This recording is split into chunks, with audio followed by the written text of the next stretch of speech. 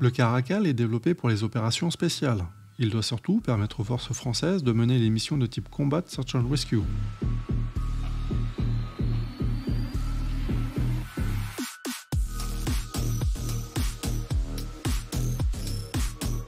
L'objectif de ce type de mission est simple, garantir à un pilote que tous les moyens seront mis en œuvre afin de pouvoir le secourir en cas d'éjection ou de crash en territoire ennemi. Par essence, ces missions sont peut-être les plus difficiles que les machines et les soldats aient à remplir.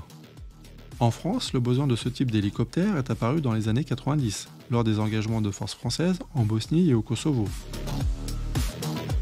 Les appareils qui sont alors disponibles ne sont clairement pas à la hauteur de la mission. L'armée de l'air lance donc un programme en urgence basé sur le Cougar MK2.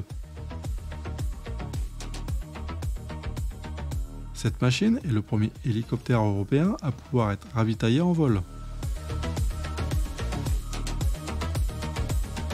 Suite à une évaluation, l'armée de l'air souhaite un appareil encore plus ambitieux. Cela aboutira au Cougar MK2+, l'ancêtre direct de l'EC-725.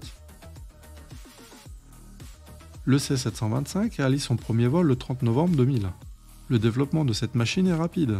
L'appareil est basé sur un Cougar bien connu qui intègre de nouvelles technologies issues notamment du programme NH90.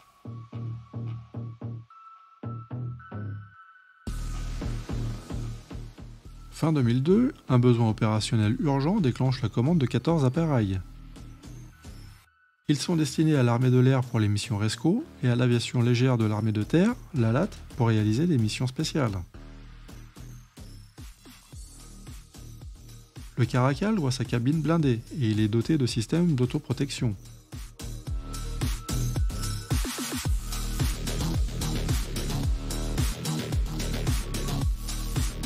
Une tourelle FLIR permet à l'EC-725 de voler de jour comme de nuit et quelles que soient les conditions climatiques.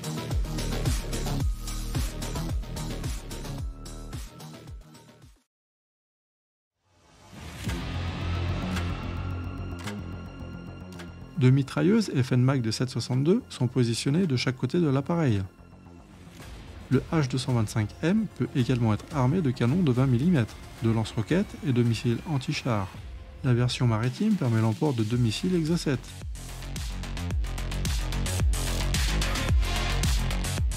La cabine permet de transporter jusqu'à 28 passagers.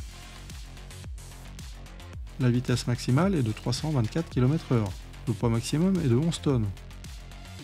Il est propulsé par deux turbines Safran hélicoptères de type Malika de A1.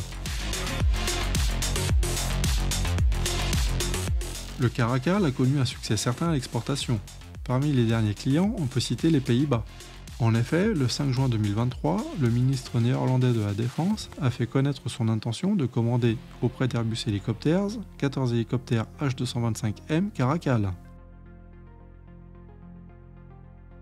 L'idée est de convertir un escadron d'hélicoptères existant en une unité dédiée aux opérations spéciales. Côté français, l'armée de l'air et de l'espace ainsi que l'aviation légère de l'armée de terre sont toujours équipés de Caracal. La prochaine loi de programmation militaire prévoit que l'armée de l'air et de l'espace récupèrent les exemplaires des forces spéciales de la LAT. Ces dernières profiteront du développement d'une version du NH90 dédiée à la réalisation des opérations spéciales.